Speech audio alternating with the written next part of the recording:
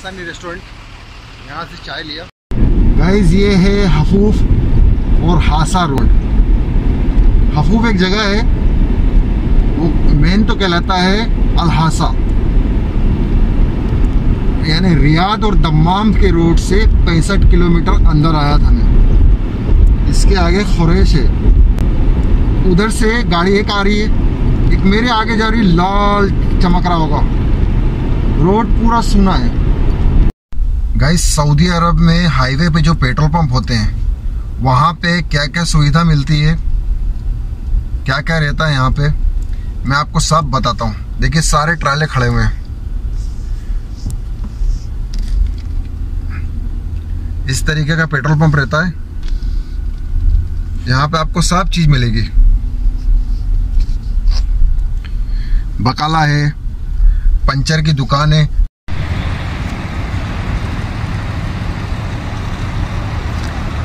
ये मेरे सामने दिख रहे हैं, ये नाई की दुकान भी है यहाँ पे। मोबाइल एसेसरीज चश्मे वगैरह भी हैं।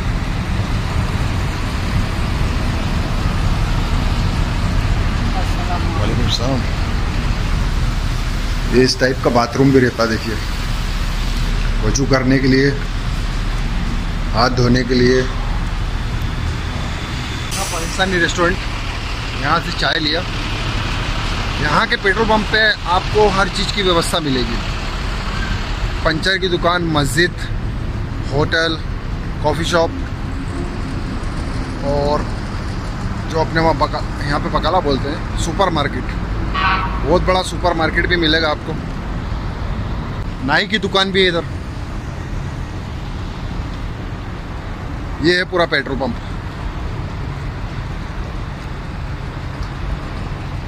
यहाँ पे अधिकतर ट्राले आके रुकते हैं। मैं आया था यहाँ रियाज से एक सौ पैंसठ किलोमीटर दूर। अलहफूफ हासा। बीच रास्ते में एक सौ पैंसठ किलोमीटर दूर पे उसका हस्बैंड आने वाला था। तो वो रास्ते में आ गया, उसको वहीं ड्रॉप करा और अब मैं वापस जा रहा हूँ रियाद। अभी रियाद यहाँ से बचा है सत्तर किलोमीटर। ये सुपर मार्केट है मेरे पीछे। वेस्ट माइल है उधर।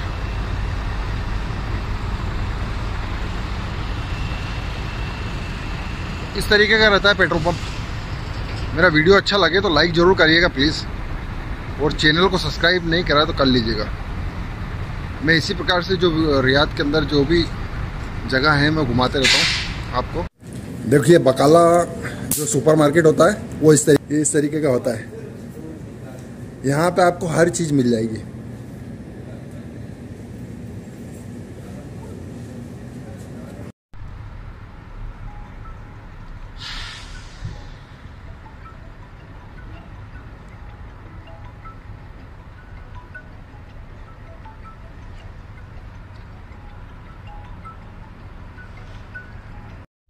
देखो गाइस ट्राला।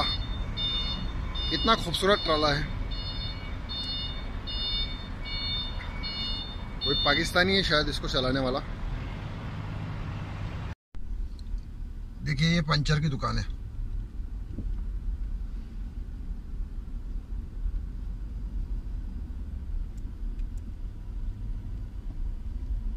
सारे ट्राले यहाँ पे आके रुकते हैं।